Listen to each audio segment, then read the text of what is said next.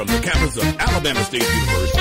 We're 90.7 WVAS FM, Montgomery. WVAS FM 90.7, the voice of Alabama State University, signed on the air as a 25,000 watt station 30 years ago on June 15, 1984, providing listeners with the best jazz, blues, gospel, news, and views. The station signed on under the leadership of Dr. John F. Knight Jr. I was asked by then President Leon Howard uh, to see if I could assist in terms of getting the radio station on the air. What we were looking for at that time was Alabama State was getting ready to make a transformation uh, from what we had been in the past to the future. And part of that meant positive public relations, uh, an opportunity to get our word out to our constituents, to the alumni and people in the central Alabama area. A team of some of the best in broadcasting worked for months to get the station ready, and when WVAS signed on, listeners tuned in. But our vision was for WVAS to be much more than that, but to be the voice of Alabama State University. Uh, and that's what uh, we started out. We got it on the air, and we pulled together a great team of people working together uh, to put the station on the air and break some barriers that had never been broken here at Alabama State before. I think our mission at that time was to put a positive light on ASU. And um, that we did, and we were proud of that because we flipped the script, so to say. I was uh, the first uh, DJ. I played the very first show, played the very first record on uh, the station, uh, and we were, at that time, I was doing the 6 to uh, 10 morning show that Mel Marshall eventually turned into uh, his franchise. And we first went on there. I was in, I was doing afternoons, um, and I was overproduction. You know, because they brought me in as the production guy. Uh, news director. I was the first and only person in the news department at that time. While there were only a few people on staff that first day, WVAS began expanding its staff and programming. On October 1st, 1993, WVAS became eligible for funding from the Corporation for Public Broadcasting, and the station subsequently became an affiliate of National Public Radio, or NPR. Substantial financial support from the university and CPB as well as generous contributions from listener supporters, has helped WVAS expand its reach and programming. It also allowed the station to begin broadcasting 24 hours a day in 2000. We started in uh, right here where we're filming today, the fifth floor of Levi Watkins Library. Uh, we started up here, our first studios in 1984. And uh, then eventually we moved to Kilby Hall, which is our current home. Um, we started with 25,000 watts, uh, which was, it's, it's, that's still quite a bit of power. That, that's good power. But we were able to increase our power to 80,000 watts. And so in this market, that makes us second only to uh, two of the biggest stations in this state. WVAS is second to none when it comes to its award winning news team. The station won its first award in 1985 a year after signing on air. And the awards keep coming. The station has picked up more than 25 news awards during the past 30 years. And from the moment I walked into the radio station, which was located in the Levi Watkins Learning Center on the fifth floor, I was, I was blown away. And I knew that was the place for me. There's always been a commitment to news and public affairs from the very beginning, from the first day that we went on the air. Um, our administration knew that it was very important for us to be able to cover events and issues in this community, um, in the entire community, and also in particular our African American community. WVAS has had a strong commitment to the Montgomery and surrounding communities since the day the station went on the air. That commitment to the community continues today.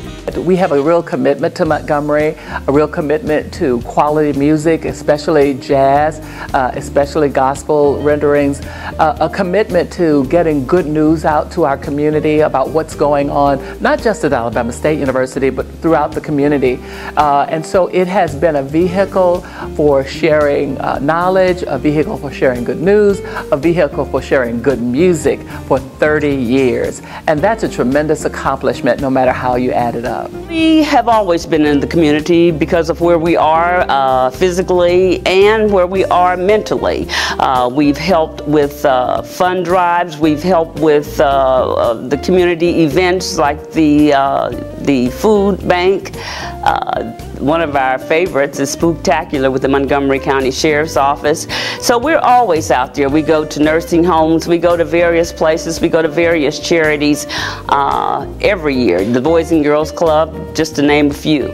You know, WVAS is a professional full-time public radio station. The word public is in what we do. We also have a huge voice. Um, and what better use for that voice than to be able to, um, to deal with, to uh, address issues that need to be addressed in our community. WVAS has a long and great history as the home of Alabama State University sports, broadcasting as the Alabama State University Sports Network. This commitment to sports was also part of the station's original blueprint. Alabama State University never got credit, never got the coverage that uh, many other universities were able to receive. So we decided to do a sports broadcast for our athletics program, especially football and basketball, the revenue generating sports. So we create a statewide broadcast. Always enjoyed uh, anytime Alabama State would score and or make a basket, and it was always, how do you do? Throughout WVAS's long and stellar history, one thing that has always been a huge part of the station's foundation, students. Students who want to get broadcast experience can do it right on campus at WVAS FM. Um, WVAS now uh, multicast. You have uh, um, HD1, which is the primary station, Jazz, News, and Blues, which is on 90.7. You also have HD2 and 3. But um, Bama State Radio is the student station. So it's, it's, strictly for the students. We allow students to um, train on air. Along with this commitment to students, sports, and the community, WVAS has always been committed to providing the best jazz and blues music. Music is a very huge part of what WVAS does, and it, taking on that responsibility is a very huge task. You think about the history of Alabama State University. You know, uh, the jazz pioneers that, that, that you know, Erskine Hawkins and uh, uh, Ron Handy's uh, folks, you know, W.C. Handy. So it was only fitting for jazz and blues and uh, news, gospel too. 30 years ago, WVAS became a trailblazer by signing on the air with a format like no other in the Montgomery area. It has now gained success, loyal listeners, and unprecedented growth. I'm sure over those 30 years, they've made a lot of changes uh, to make sure that the people who are listening to WVAS are those who uh, enjoy their music. And so I see them moving forward in that same direction, staying in touch with the community, staying in touch with their listeners, making sure that they're providing the best, the quality uh, music and uh, quality news reporting and uh, quality information to the Montgomery community. Uh, right at the cutting edge of whatever is going on in the communications industry. We are across all platforms. We are um, staying abreast of all of the latest music, uh, all of the latest trends, all of the latest news news. Uh, we are bigger and better than ever before. And I want to take this occasion to wish happy anniversary to WVAS 90.7 FM. Thank you for being in Montgomery. I want to wish WVAS a happy 30th anniversary. WVAS has been so great to the community at large. WVAS helped Jubilee City Fest and many other events become a wonderful event, and we could not have done it without WVAS. You're a great community supporter. I wish you the best. Again, happy 30th anniversary. Happy, happy 30th anniversary to WVAS FM 90.7. For 30 years, you've been bringing us the best jazz in the nation, and we enjoy it so much. So from me to you, happy anniversary. Congratulations, WVAS. 30 years of service to this central Alabama community. You've been a beacon of light, helping to improve the community relations. I just want to say, you've been there when the chamber needed you. You've been a good voice for minority business owners. Congratulations You're easy like Sunday morning. Okay, I'm just here to say happy 30th anniversary to my favorite 90.7 WVAS. Whoop! There it is. Absolutely love you all. I appreciate your support throughout the years, especially with Haiti.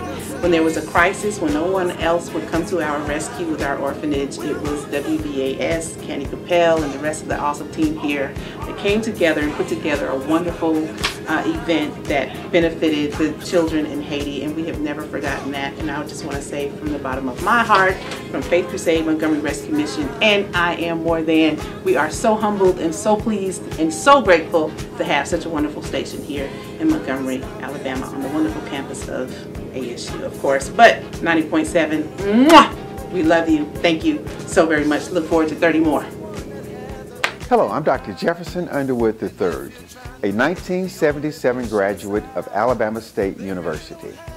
And on WVAS's 30th anniversary, I would like to wish them a hearty and well-deserved congratulations. Hi, I'm Beatrice Fornes, the president of the National Alumni Association here at Alabama State University. I am so pleased and so honored to say, wow, 30 years. Happy anniversary, WVAS. Keep the jazz coming and that Sunday morning spiritual. Thanks for everything.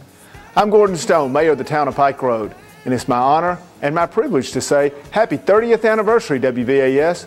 We appreciate what you mean to our town. We appreciate what you mean to our region. But we especially appreciate all you do to make sure our people stay well informed, that you entertain us with great music, and that you make a difference in the lives of each one of us. I like that. Great. That's the key.